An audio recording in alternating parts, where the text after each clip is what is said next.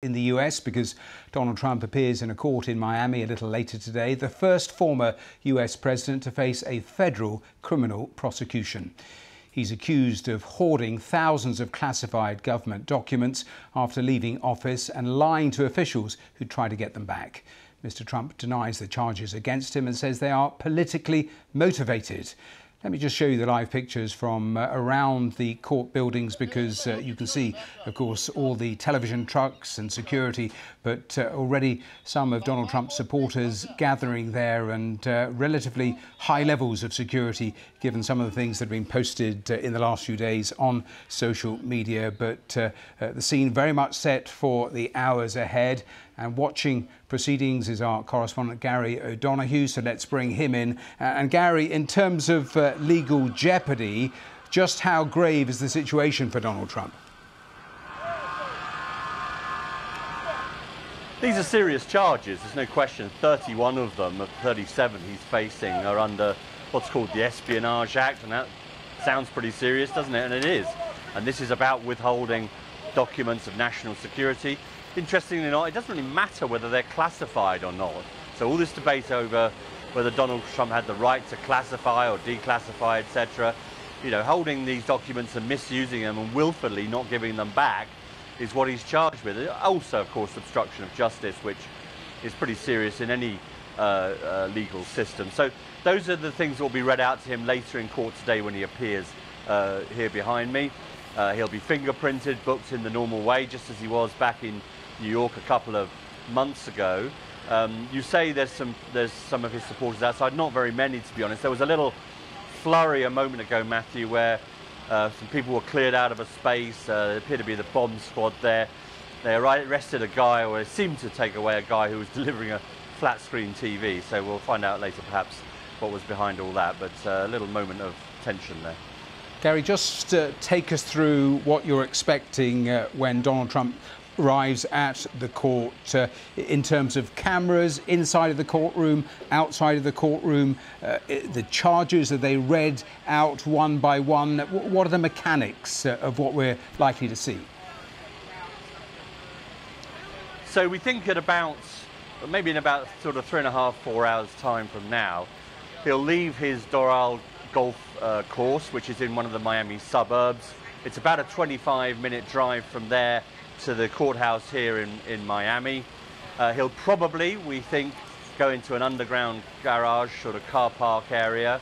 But then be taken into the court, and at some point there he'll be booked, so the fingerprints and the, uh, the details, it's actually logging him in.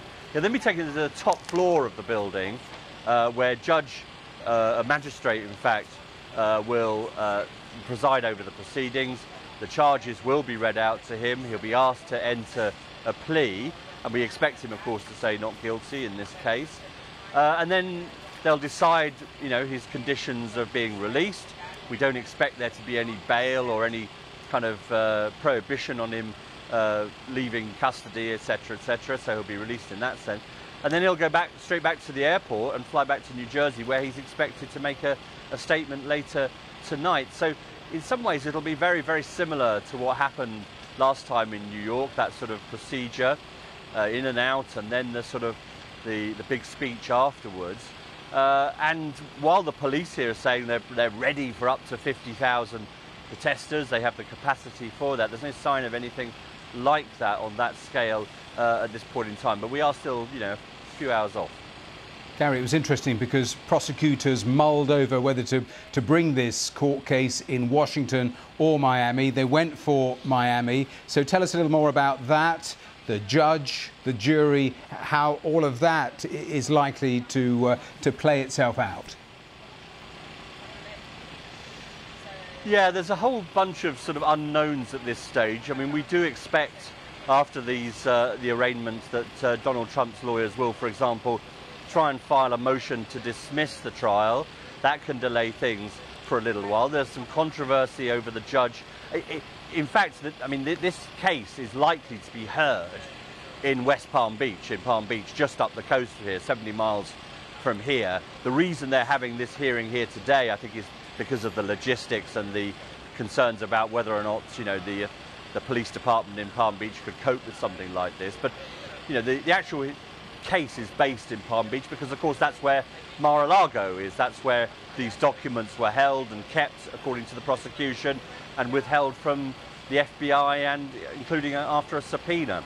So that's what will happen there. There's a judge who's been assigned to that who has been accused of sort of pro-Trump bias in the past. Uh, she's a Trump appointee. Uh, one of her decisions in this case previously was overturned pretty scathingly by the Court of Appeal that uh, sits above her in the federal structure. So that will be a point of contention. But the special prosecutor, special counsel, Jack Smith, who's been organising this whole thing, says he expects there to be a speedy trial. And there is some evidence uh, that actually things do move reasonably quickly in Florida. So we don't have a time scale at this point in time. We may hear that. We know that his other trial in New York is, is sort of, at the moment, sort of penciled in for March, around March next year. Of course, right in the middle of the, the Republican primary. Um, and if Jack Smith has his way, this one's going to happen, you know, maybe as quickly as that. So Donald Trump's going to not only have to travel, crisscross the country uh, doing uh, primaries and, uh, and caucuses, but may have to do a few, few court appearances at the same time. Be an absolutely extraordinary position for the front leader in the Republican race for the nomination. Yes, and of course there are two other possible indictments uh, in the sidelines as well. Gary, for now, thanks once again. Let's talk to the Democratic strategist Maryanne Marsh, who joins us on the programme. Uh, Maryanne, thanks very much for being here. Your take on today's indictment and the seriousness of it? Well, the fact is, this is a national security matter. And in the case of the United States of America versus Donald Trump and the 37 counts charged under the Espionage Act, represent the most serious crimes any American can face. And the evidence that is so incriminating in this indictment is only the tip of the iceberg. Amongst the materials Donald Trump has, or at the time had, that he lied about and hid repeatedly to the federal government and other entities, as well as his own lawyers, were military plans to attack Iran by the United States, military assets that country, countries around the world have, military vulnerability, nuclear assets that countries around the world have, military vulnerabilities that countries around the world have, as well as the United States. So Donald Trump couldn't be in in a tougher situation, and his fate is based on his ability to win in the court of law, which is where he is today, and the court of public opinion. In the court of law, this indictment uses his own words and the words of others with him to show that he knew exactly what he was doing. You'll, so have, seen, is, you'll have seen how he's responded and his supporters have responded. I mean, the Republican governor of New Hampshire said only recently the Democrats are like the boy who cried wolf. Oh no, oh no, but this one is real. We had a Republican on the programme only an hour or so ago who was saying that uh, Joe Biden had documents when he was vice president. It is the same. That was his contention. Why is it different? Well, Joe Biden and others cooperated and informed the federal government and the FBI and others they had the documents. Donald Trump, on the other hand, lied about it to everybody and then continued to play hide and seek every time the FBI lawyers and others went searching for those documents. So it's clear he's hiding them. Why we have to ask ourselves what he was doing with them. They're not his documents to hold. It's not like a souvenir from a summer vacation. They belong to the federal government and should have been returned before he walked out of the White House. And the other is who did he show them to? And did he perhaps even sell them? So, what is he doing with these documents? And I will just underscore the fact this indictment, as incriminating as it is, is literally just the tip of the iceberg. The prosecutor did not show all the evidence, did not show all the documents, and did not show everything they're going to argue in court. And that should be very chilling and worrisome for Donald Trump. And yet, for his base, it seems to have absolutely no impact at all, possibly even enhance his uh, possible uh, getting that uh, Republican nomination. I mean, from the outside, in terms of the rule of law, politics in the US, it looks pretty broken. Well, it, it's not, though. We've been here before, 1973, with Richard Nixon and Watergate and his vice president Spiro Agnew under 41 uh, federal count indictments.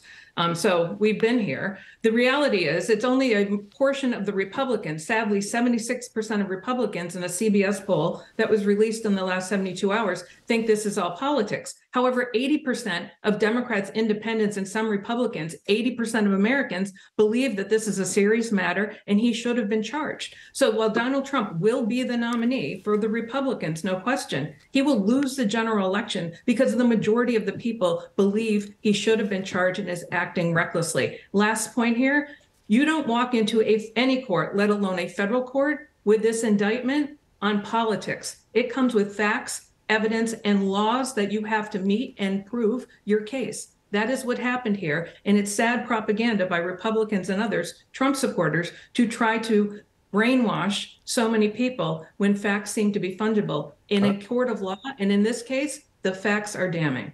Just a final quick thought, because uh, you'll have seen some of the rhetoric that's been on social media from some of his supporters, even referencing uh, the amount of people with guns in the United States. If uh, the authorities want to come for Donald Trump, that's what uh, Kari Lake uh, had referenced in one of her uh, tweets. What do you make of that? How concerned are you by language like that?